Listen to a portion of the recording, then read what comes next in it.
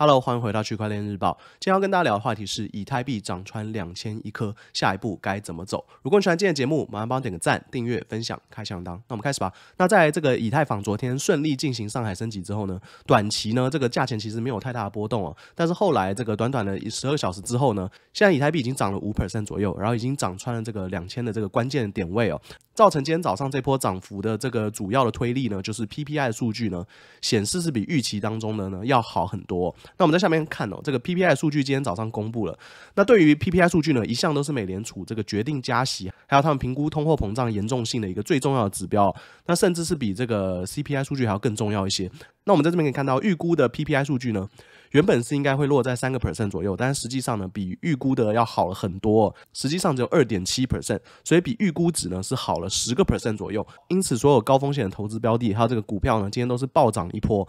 那其中当然就包含了以太币啊，尤其是以太坊昨天进行了上海升级，很顺利，没有任何问题之后呢，以太币今天的价钱就开始涨了。那我们在这边看一下吧，这个以太币目前是处于两千零十五左右，那这个点位呢，其实已经是到了这个去年八月的时候，呃，差不多的点位哦。那去年八月的时候呢，是在这个以太坊从 POW 转到 POS 的这个 merge 过程之前呢。呃，是有出现一波这个 buy the rumor sells the news 的情况，就是在这个正式合并之前呢，这个以太币是暴拉一波，但是后来正式合并之后呢，就开始这个 dump，就开始价钱往下走了。对于这次的上海升级，我有跟大家聊过。因为这次并没有出现这种呃 buy the rumor, sell the news 的状态，就是在上海升级前夕呢，其实以太币的这个价钱呢，一直都是往往的在往上涨，并没有发生任何暴拉的情况。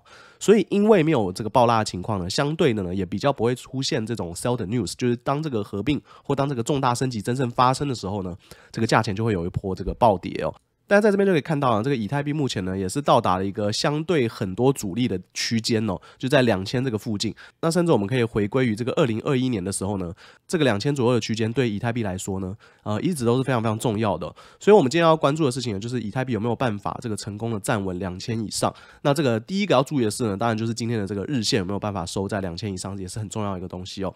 那我们来看一下这个以太币对比特币吧。以太币最近几年真的是非常非常强势哦，因为往年的历史里面呢，这个以太币对比特币呢，在熊市当中呢，都会有一个大量的损失哦。但是这一次的这个熊市呢，就没有看到这样的现象。我们可以看到以太币从这个二零二一年五月的时候涨到高点，就是对比特币涨到高点之后呢，就一直在这个高处高位的地方呢，进行一个横盘的震荡。那这边是有个假突破。那后来在这边的时候呢，就在上周的时候，我有做影片啊，说现在以太币对比特币的位置呢。也是蛮危险的，这边很有可能会有一个 breakdown。如果 breakdown 的话，这个比特币对以太币的这个中短期啊，就会有一个很大的损失。但是我们在这边再次看到以太币是非常非常强韧的，从这个区间底部的地方呢，又是已经回拉一波了。如果这波趋势可以持续的话呢，这个以太币对比特币的短期应该是也会有一个呃二十几 percent 的涨幅，都是非常非常有可能的。所以在昨天影片当中呢，我有跟大家讲过，这个以太币绝对也是任何一个加密货币投资组合里面必定要有的一个项目。然后接下来我们再注意一下这个比特币的 dominance。就是比特币的市占率呢，这件事情上周有跟大家稍微聊到过，就是比特币的这个市占率涨穿四十八 percent 重量阻力位之后呢。在前几次呢，它是都是一个 fake out，就一个假突破形式，后来就回落了。那这一次呢，也是涨到了四十九 percent。虽然说这个 Bitcoin dominance 是最近几年来的新高，但是呢，这个很明显在四十九 percent 碰到之后呢，也是开始回落了。所以比特币的市占率呢，也是一个我们需要关注的一个指标。那比特币市占率是不是在这边又再次进行一个假突破，然后最后会 roll down 再回去呢？如果是这样的话呢，山寨币的走势短期应该是会挺不错的。但就像我说的，这个比特币在所有的投资组合里面呢，也都是一定要有的一个项目。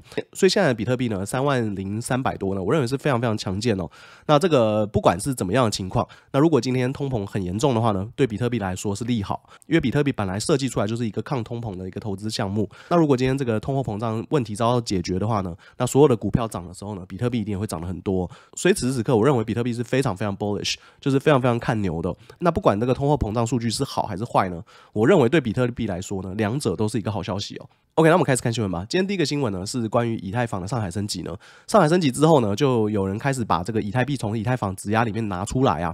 那现在呢是遇到一些问题哦，因为这个等待呢需要高达两个星期啊，就是大概十四天左右。我们在下面的数据可以看到呢，有超过一万七千个这个呃以太坊质押的这个矿池呢是要一百 percent 把以太币全部的抽出来哦。然后另外有二十八万五千个矿池呢是要把部分的以太币给提出来，所以因此导致了这个提出以太币的这个 delay 啊，就是有点延迟啊，卡住。束了这样子哦。那这个等待时间呢是要高达这个十四天哦。这个延迟的状态其实就是以太坊上一个蛮大的问题啦。那另一个就是上海升级，虽然说可以把这个质押在上面以太币顺利自由拿出来，但是它并没有解决以太币这个速度。还有，每当大家都在使用的时候，气费就会高涨这些问题哦。至于要解决这些问题呢，就是要透过区块链分片，但是分片这个过程呢，又是要好几年。所以说，以太坊要真正走向完全体呢，我个人认为应该还是至少有四到五年的时间。那如果只是纯粹以 POS 的这个机制来相比的话呢，Cardano 绝对是要比以太坊要好的非常非常多。那我相信，如果有在看我的观众朋友，然后有尝试过 Cardano staking 的话呢，如果你从 Cardano staking 的机制跑到这边去尝试要质押以太币的话呢，你就会感觉是这个回到石器时代啊。下一则新闻是关于币安的。币安在今天稍早也公布说，这个以太坊上海升级之后呢，会在四月十九号呢开放大家可以把这个质押在币安上的以太币给拿出来哦。那对于这件事情呢，其实动作是蛮快的啊，因为只是短短的这个一周以内嘛。那同样呢，像 Coinbase 的话呢，如果我们要把质押在 Coinbase 上的以太币拿出来的话呢，据我所知还是要一到两个月的时间啊。我自己是有部分的以太币呢是放在 Coinbase 上，透过 Coinbase 去进行质押的，但是到目前为止呢，还没有收到任何消息是说什么时候可以把这些以太币给提出来。下一则新闻是关于推特的。那推特自从这个马斯克收购之后呢，真的是动作频繁哦。然后这个推特平台啊，使用起来呢，也是比之前感受要好很多。然后这个 spam bot 啊，就这种诈骗机器人呢，也是很明显下降了。那今天呢，推特又往前走了更大一步啊，他决定跟 eToro 合作呢，在推特上面呢，可以提供这个推特使用者直接购买股票、加密货币等等的东西哦。其实我们一直都知道，这个马斯克收购推特之后呢，他就表示说呢，要把推特创建成一个这个 super app，就是你今天做所有事情都可以透过这个推特，有点像是这个微信这样的感觉啊，就是不管你是付钱啊，或者让购买资产啊、贩卖资产啊。转钱呐，或者是作为这个信息沟通的平台啊，一切都可以在这个推特上进行哦。那今天这个马斯克在收购推特短短几个月之后呢，的确是有很多的动作，所以你真的是不得不佩服马斯克的执行力。那今天他们就决定了跟 eToro 合作，eToro 是一个美国的 brokerage company，那主要是可以在上面购买跟贩卖股票跟加密货币等等的。那这个形式呢，看起来是可以直接在推特上进行购买跟贩卖股票跟加密货币。然后另外呢，你也可以在这个推特上面看到一个选择，就是有个按钮是说这个 View on eToro，你。点上去之后呢，它就会直接带你去这个 eToro 的平台哦，所以这件事情对推特来讲一定是一个好消息啦。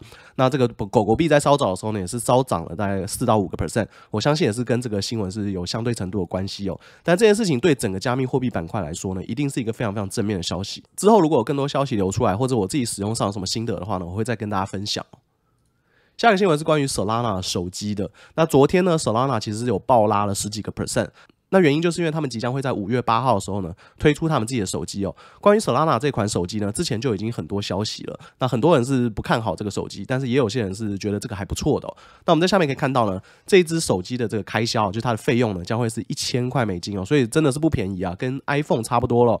然后它是建筑在 Bay Area 这个智能手机的公司叫做 Awesome 的平台上面，然后它里面会有五百一十二 Gigabytes 的这个内存。然后前后会附两个照相机，然后使用的是六点六七寸的 OLED display，就是 OLED 的这个屏幕。然后另外呢，还会有这个指纹辨识系统等等的。那这只手机呢，会使用安卓的这个系统哦。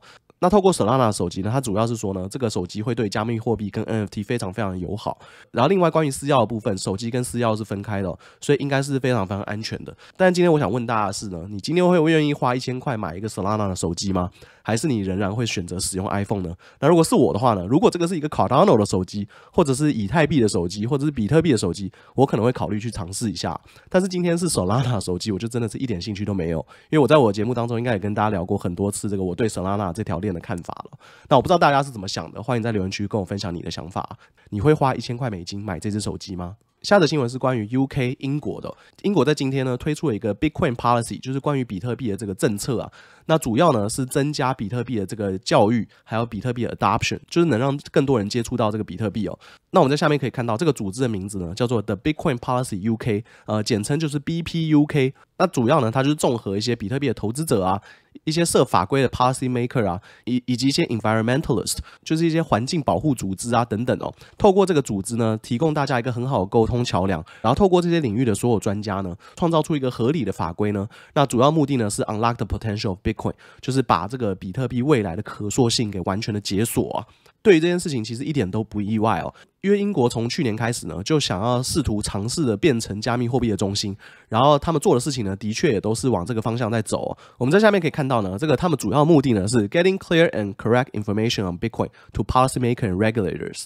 就是说呢，他们要提供一些关于比特币正确的资讯给这些设立法规的人哦。然后 highlighting the environmental and sustainability benefits of the mining industry，就是说呢，今天比特币的挖矿呢，很多都是使用再生资源的，所以他们跟这个环保组织呢，也是要有拥有一个很好沟通的桥梁啊。然后最后一个部分是 collecting and providing educational resources for the next generation of Bitcoiners，就是说呢，他们要提供一个正确的一个教育体系呢，让下一代的 Bitcoin 呢就是投资在比特币或者相信比特币的人呢，可以得到更正确的资讯哦。下则新闻是关于 Montana 的，Montana 是美国的一个州。今天 Montana 提出了一个关于比特币挖矿的一个 bill，就是法案呢，在众议会遭到通过。接下来只要这个 Montana 的州长签名同意这个法案的话呢，它就基本上立法了。那这是怎么样的一个法案呢？基本上就是一个 Digital Asset Mining Right，就是说呢，今天呢，呃，大家都有权利去挖这种虚拟资产哦。然后这个法案呢，就可以保护挖虚拟资产的这些人或者是公司呢，避免他们遭受一些这个不平等的对待啊，包含了如果今天你挖矿啊。那你这个电费的费率啊，跟普通人就是不一样的，就是类似这样的不平等待遇呢，在这个法案通过之后呢，就不可能在蒙塔纳这个州再次发生了。所以看到这边，我相信大家也都很 confusing，就是很混乱吧？就是为什么感觉我们表面上看到很多新闻，就是这个，诶，美国好像这个想要 ban 掉加密货币啊，对加密货币板块非常非常不友好啊。但是同时呢，在蒙塔纳这个对加密货币如此友好的一个法案呢，却在美国众议院直接很顺利的通过了。所以大家看事情呢，就一定要看这个多方面哦。那你要知道。这个世界是怎么运行的？这个世界运行的道理是什么？那今天我们看到大部分主流媒体在抨击加密货币的时候，他们的目的到底是什么？是希望把价钱压低，然后他们可以囤的更多吗？还是有更多其他的目的？这个东西就是独立思考能力的重要性哦，也是在我节目当中呢一直传达给大家一个信息哦。OK，在今天节目结束之前呢，再跟大家聊聊这个关于政治的话题哦。那这两天的这个留言啊，真的是非常非常火热。那再次说明呢，这个有非常非常多人呢是非常热衷在政治上面的。在昨天的影片当中呢，我把一个观众朋友的留言拿出来跟大家讨论。那昨天的影片呢，这一位观众朋友又再次留了更多的东西哦。那我们就一起探讨一下他这个留言是在讲些什么东西哦。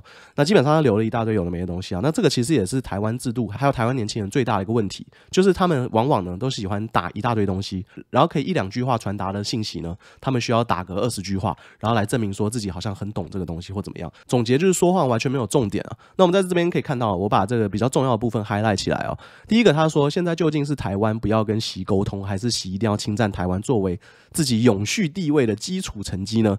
对于这点呢，我并不认为今天中国大陆是不愿意跟台湾沟通的。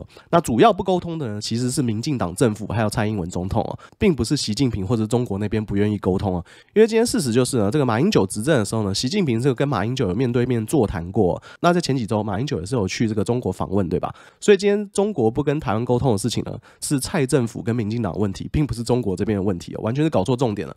然后接下来他说，另外你能确定只要美国不插手，中国就不会入侵台湾吗？那我在这边反问你，请问你可以。确定中国入侵台湾，美国就一定会插手吗？就是这个逻辑上完全是行不通的嘛。就是今天如果中国真的要打台湾的话，我根本不觉得美国会帮忙。OK，所以身为台湾人呢，绝对不要有这个如果开战的话，美国一定会帮台湾这个认知，因为到最后呢，你会非常非常失望啊。然后最后他在这边说，还是会闪击台湾制造即定事实呢？这句话我其实有点看不懂。他是说这个大陆可以很快的这个以闪电战的方式攻占台湾吗？这个部分我有点看不懂他想表达什么东西哦。但是今天你必须知道，这个如果今天要攻占台湾，那大陆是要有很多准备的。OK，包含了登陆的船舰，包含了所有的东西，这些资源呢，他们在移动的时候呢，都会被美国的这个卫星看得非常非常清楚哦。所以今天并不是说这个习近平今天说要打台湾，明天就可以实现哦。然后最后这句话就非常好笑，他说：“对比起美国，我比你更了解中共。”哦，真的吗？今天我最好的两个朋友都是来自中国的，而且他们也是美国社会里面前一 percent 的人。然后另外呢，我接触的客人里面就超过十个以上中国上市上会公司 CEO 大老板哦。所以今天当你说你比我更了解中共的时候，你讲的是什么东西呢？请问你今天身边有接触任何一个来自中国的朋友吗？又或是你今天说的了解中共是完全一百 percent 来自于绿媒的资讯呢？关于这一点，我看到的时也是觉得非常非常好笑。然后最后这个部分，他说明年台湾选举，如果国民党上台执政的话呢，呃，签署台湾版“一国两制”协议，然后和平统一中国，我就觉得很好笑，因为大部分的台湾人呢都看不清这个你今天没有办法统一，也没有办法独立的这个事实哦。如果今天可以独立的话呢，陈水扁当总统当了八年，蔡英文也已经六年七年了，为什么你不宣布独立呢？因为美国不让你独立嘛。那今天马英九执政八年了，请问这个台湾有回归中国吗？有统一吗？也没有嘛。那原因是什么呢？第一就是台湾的人民不希望统一啊。那第二就是美国也不会让你这么轻松的就统一，对吧？所以我在这边很快对台湾政治提供一些我的想法了。就是今天呢，民进党的确是很多问题没错。那很多人是在说这个民进党不倒的话，台湾不会好。但我在这边给大家一个不同的角度思考，就是如果国民党不倒的话呢，台湾就不会好。那原因是为什么呢？因为今天民进党就是一个斗争的政党，国民党呢是一个失败的政党，他从跟这个共产党斗争，然后败下来，那到台湾之后呢，又跟民进党斗争，然后又是败下来，所以国民党在过去一百年里面呢，就是一个失败的政党。那今天为什么说国民党倒了之后才会对台湾好呢？因为如果国民党倒的话呢，民进党就没有人斗争了嘛。今天民进党在执政的时候呢，有任何问题发生的时候，他只要把这个问题归咎于国民党，说哎，都是你国民党怎么样，都是你国民党怎么样，然后支持民进党这种无知的人呢，就认为啊，对啊，都是国民党的问题。所以今天如果国民党倒的话呢，民进党就会不攻自破了。然后最后在台湾政坛里面啊，真正了解现在国际状况、台湾在国际当中的处境，以及有办法解决问题的人呢，其实只有一个人，这个人就是柯批柯文哲。但是很遗憾的呢，他是选不上总统的，因为今天台湾就是一个被国民党、民进党两党控制的一个地方哦。在过去任何有第三政权出现的时候呢，不管是新党或者是亲民党，最后基本上都是泡沫化了。那说真的呢，这也是一件非常非常遗憾的事情哦。那另外，我个人认为这郭台铭其也是一个不错的选择。但是我的猜测啊，是最后呢，国民党就会想办法把它斗争掉啊。因为今天朱立伦还有总统梦。那至于这件事情到最后会不会发生，就是我们接下来一年可以持续关注的一个议题哦。然后在今天节目最后呢，再分享给大家一个我认为非常非常有趣的一个访谈。这是一个由 BBS 的记者呢对 Elon Musk 做的一个访谈哦。我会把这个访谈的连接呢放在这个影片的下方哦。那如果你今天英文还不错的话呢，可以去看一下。那如果看了之后呢，你可能就会知道什么叫做这个纬度碾压，就是马斯克的 level 跟这个记者 level 呢是完全不在同一个档次的。就像这个在我频道里面留言的这些酸民呢，跟我是完全不同档次的。这就是一个跨纬度的碾压。如果今天你有兴趣的话呢，可以花时间看一下这个四分钟的访谈，是非常非常有意思的。那今天新闻就跟大家聊到这边了，希望大家有一个愉快的周末。如果你喜欢今天的节目，麻烦帮我点个赞、订阅、分享、开响当。那我们下周见啦，拜拜。